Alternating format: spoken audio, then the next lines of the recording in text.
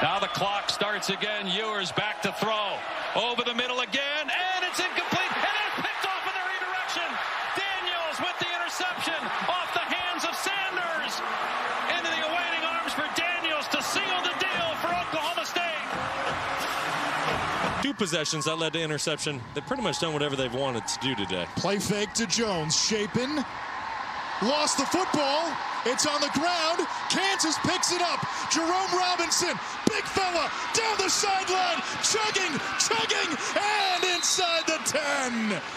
Oh, he could have smelled a thick six. Duggan, plenty of time. Nice. There's his man. It's Derius Davis. He's got all kinds of speed. Touchdown, TCU, 65 yards. Serving the first half suspension from the targeting last week. Man rush. Morton. Oh, beautiful ball. Another completion of White with some room to run. He turns on the burners. Xavier White. Touchdown. 55 yards.